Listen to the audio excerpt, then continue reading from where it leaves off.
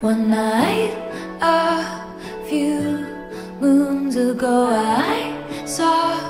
flecks of what could have been lights But